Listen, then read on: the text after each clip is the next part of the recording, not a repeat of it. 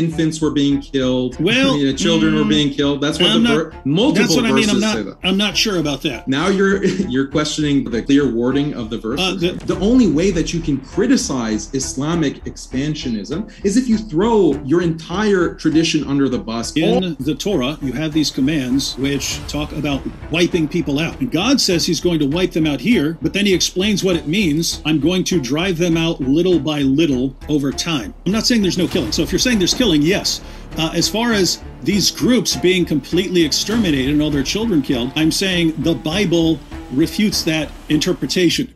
Come on, this is this is massive amount of desperation. The idea that a Christian is supposed to say, you know what, I've been commanded, love everyone, love my enemies, um, uh, that I'm supposed to do good to everyone, pray for everyone, honor everyone, and this means that I'm supposed to follow. You honor you Old honor Testament Piss Christ. You honor the odds. Do you honor the artist who made Piss Christ? I, I said I said in my own I said in my opening statement that as far as that person is a uh, human being created in the image of God, that person is worthy of a certain level of love and respect, but that we do not have to uh, we do not have to uh, love what they do or honor what they do. We can we can condemn what they do and rebuke them for what we do and tell them how horrible they are for what they do. But uh, there are certain things that, that we, if given the opportunity, I wouldn't kill him. I wouldn't kill them. Um, Yeah, well, I because because that person's created in the image of God. Whereas I suspect, and we could, th- those of you who are uh, the Muslims, are- Canaanites were those also of you Muslims created in the image of God. The Amalek were also created in the image of God. The heretics that the Christian church eradicated in the early centuries of Christianity, they were also created in the image of God. That didn't stop them from killing them. um, if you're talking about Christians doing it, Christians had no Christians Yeah, had no Christians doing business. Christians, Christians had and Christians had no business The doing it. followers of Moses. If you're talking about Moses, again, that's a different situation. By the way, this is kind of a side note. Um, all the groups that you say were were genocided are are there later. You might want to do a little I didn't use the word genocide. You used the word genocide Um, no, I heard you somewhere else use the word genocide. in this debate. Uh, no, in a clip you posted on on YouTube. Yeah, I'm not committed to the word genocide. If you want Okay. to niggle over that, I mean, infants were being killed. Well, you know, children were mm, being killed. That's what I'm the not- ver- multiple That's what I mean. verses I'm say that. I'm not sure about that. Now you're you're questioning the the interpret or the clear wording of the verse. Uh, th- there's a there's a reason for that. Let, let me let me give you let me give you uh, let me give you an example of what I'm talking about here. Um, Bef- while you're getting that example, let me just say that yes, Islam is expansionist. In in many videos, I have uh, defended this. I think Christianity has been expansionist. Judaism has been expansionist. It seems like all monotheistic faiths, Abrahamic faiths, have been expansionist. It's only these liberalized um, Christians like David Wood who take a, this kind of human rights interpretation of of the of the Bible. But all of these religions have been expansionist, and the idea because I want to interpret the Old Testament in the most charitable way. I'm not endorsing everything because in the Old Testament because I think there's been corruption in it. But the idea of spreading the word of God and establishing true justice, you cannot have true justice without belief in God and submission to God.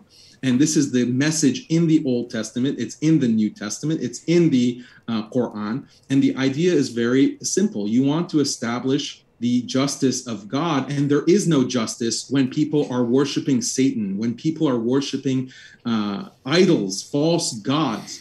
And so this is something that has to be addressed in the world. And in Islam, this is something very clear in the Old Testament, in Judaism, in the Orthodox Jewish tradition. This is something very clear, and in Christianity, it has been very clear. The only way that you can criticize Islamic expansionism is if you throw your entire tradition under the bus. uh, this is in Exodus 23, and you start to see the issue here where I'm saying I, I'm not sure about certain things.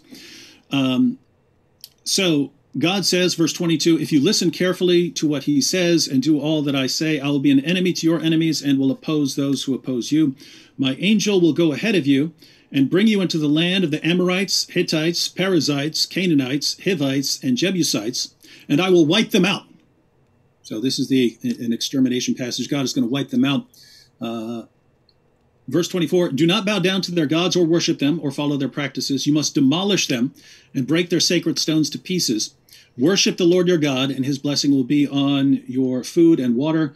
I will take sickness from among you, and none will miscarry or be barren in your land. I will give you a full lifespan. So, this is like talking about the ongoing miracles and why these people are so responsible um, for rebelling against him. I will send my terror ahead of you and throw into confusion every nation you encounter. I will make your enemies turn their backs and run. I will send the hornet ahead of you to drive the Hivites, Canaanites, and Hittites out of your way, but I will not drive them out in a single year because the land would become desolate and the wild animals animals too numerous for you. Little by little I will drive them out before you until you have increased enough to take possession of the land. I will establish your borders, and I've already quoted this. I will establish your borders from the Red Sea to the Mediterranean Sea and from the desert to the Euphrates River. I will give into your hands the people who live in the land, and you will drive them out before you. And so this is the point I'm making. Over and over and over again, in the Torah, you have these commands which talk about wiping people out. They're going to wipe them out. And God says he's going to wipe them out here, but then he explains what it means. I'm going to drive them out little by little over time. And this is something that you see over and over and over again that we do the way we use language, those mean two completely different things. Saying wipe out everything that breathes is very different from saying uh, drive someone off well, the land. Isn't Jesus the one who's commanding this, though? So where how do you reconcile Jesus's apparently universal ethic about not raise you live by the sword, you die by the sword, but it's Jesus as part of the triune God in the Old Testament also saying, fine, let's let me just concede the border issue and, and all of these little things that you're adding to uh, the interpretation, which is again not shared by other commentators. Uh, fine, let me concede all of that uh, it's still Jesus who's commanding wiping out all of these people uh, and or driving them i should say driving them out of their homes driving them out uh-huh. so how does that reconcile with live by the sword die by the sword well, I mean, no. If you look, this is there, there's God's judgment on these people, right? I mean, the, the, the accusations against them are things like child sacrifice, bestiality, things like that and God sends them a prophet, and for four why centuries, why, why why isn't that tolerated? Why doesn't Jesus tolerate that? It's Your, the the, the uh, it, child sacrifice. Okay, the the babies that mm-hmm. are being driven out, the women that are being dri- driven out, mm-hmm. uh, they're all collectively responsible for some that are doing child sacrifice in uh, in this uh, amongst these people. But they're all being driven out, right? By Jesus. Why doesn't he tolerate? Where's the tolerance there? Yeah, you're you're you're you're thinking I'm saying something I'm not. I'm not. You're thinking I'm saying never punish anyone. I mean, I said it very clearly in my opening statement. Have no problem with proper authorities uh, punishing people. I have no problem with with God wiping us out if we want. That was not the point of anything I'm saying here.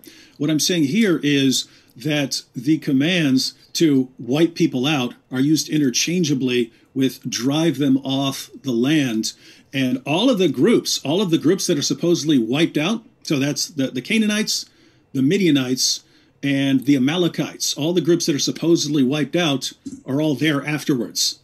And so they're uh, the way scholars interpret this is they're they're using language in a in a very different way from what we're using it at.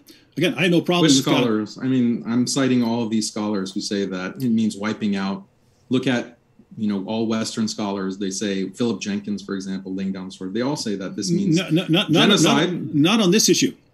Yeah, on the on the Amalek, on the Canaanites, on, on these tribes that are mentioned in those verses that we keep citing the, um, those are no, all about genocide, I'm according saying, to these Western scholars. I no, there, you can say there's an entire understand. there's an entire book by Paul Copan called "Did God Command Genocide?" where he goes through the issue. So the issue number one, which I mentioned, the command to completely exterminate are used interchangeably with commands to drive people off the land. So that should send up a flag. Wait a minute. Driving someone off the land is completely different from exterminating someone, and yet the Bible is using them interchangeably. That should make us think, hey, maybe there's something, maybe there's something going on here. But then we see this other pro- this other issue where the people, the people who all the groups that are supposedly wiped out are there later. And sometimes it's in the same chapter. Like Joshua goes up, uh, he conquers Jerusalem, he wipes out the Canaanites, and then the Canaanites are there. later in this in this in the same chapter. Uh, the Amalekites are supposedly wiped out. I mean, you quote you quoted First Samuel. The Amalekites are supposedly wiped out by Saul. They were down to the last. So you're, you're saying that there's no killing involved in this. They're just not, driven not, off. Not, the, what does driven off the land mean? Uh, I mean, this no, no, is such a ridiculous interpretation. Like, there's so no, many. Look at you, Numbers you, you, 21, ha- the destruction of King Sihon and King Og. So they smote, they smote, and his son. Not saying that. Not saying. Not saying there's no. Not saying. People. Not so saying there's killing. Not saying. I'm not saying there's no. I'm not saying there's no killing. So if you're saying there's killing, yes. Uh, as far as these groups being completely exterminated and all their children killed, I'm saying the Bible refutes that interpretation because the groups are still there. Later. I didn't. I didn't make that interpretation. I didn't use the word genocide. All I all I'm pointing out is that there's mass violence. There's mass killing. Okay. Mm-hmm. Of, of children and infants. That's a, that, that's that's that's where I'm that's where I'm having the problem.